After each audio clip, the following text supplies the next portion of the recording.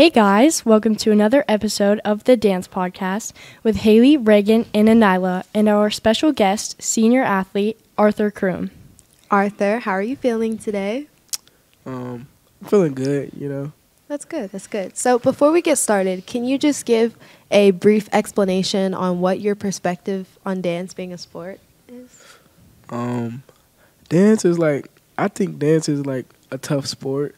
Not everybody can do it, and I think those people that dance is very different. I don't, I don't know how you do it. I don't, I don't know.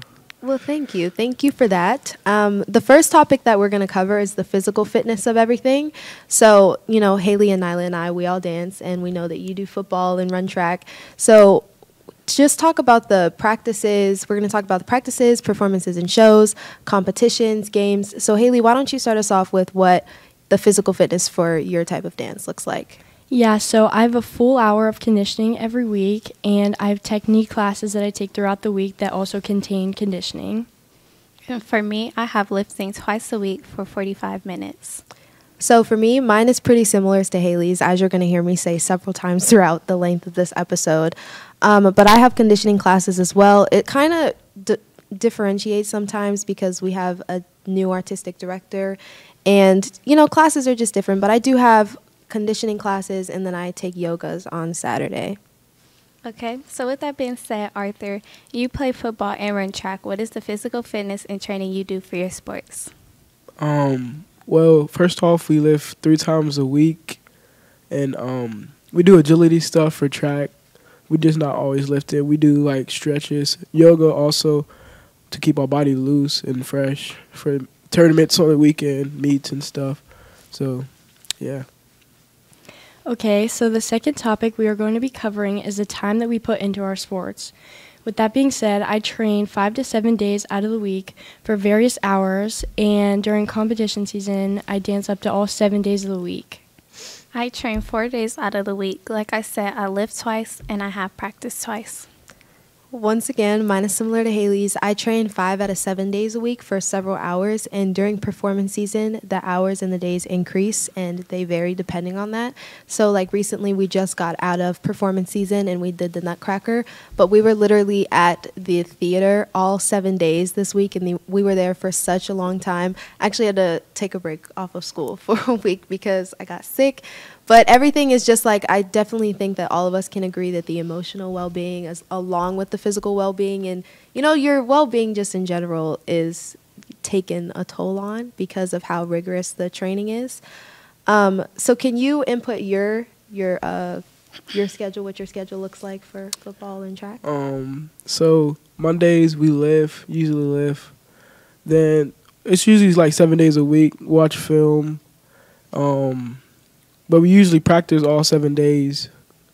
Sundays is usually like a walkthrough film, see what we messed up on, see what we did, and watch opponent scouts, stuff like that. Okay. Okay, so the final topic we are going to be covering is how we balance activities outside of sports, such as the balance of school, fun, and jobs. So Haley and I again both have very similar schedules throughout the week.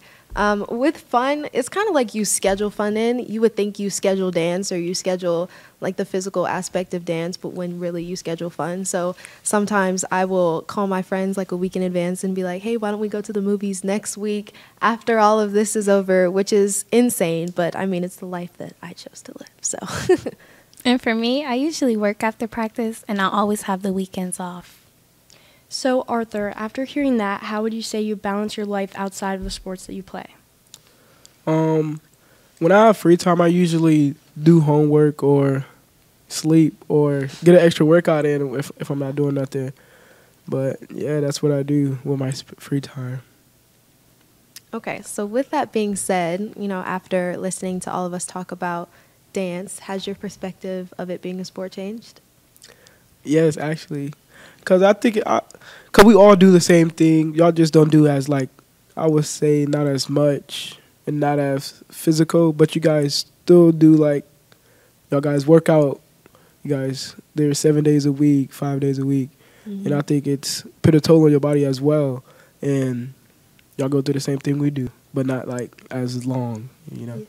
I get it. I, I do want to, if I could just like add this quick little story. So I was at, before the performance, I definitely say maybe the night before, we had just finished a full run through of the show.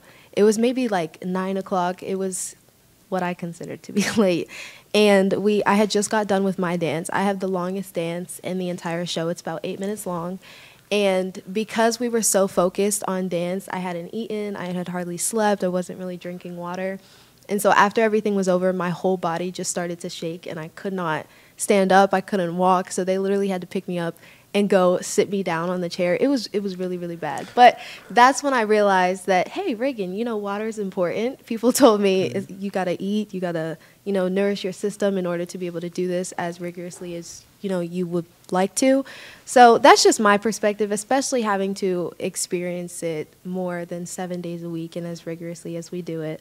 But with that being said, that's a wrap on today's episode. First, we'd like to thank you, Arthur, for taking the time out to contribute to such a fruitful conversation. Make sure you guys go check out www.thedancepodcast for scholarship opportunities regarding all athletes. We wish you the best of luck in your future football endeavors, and thank you all for listening. See you next week on the Dance Podcast.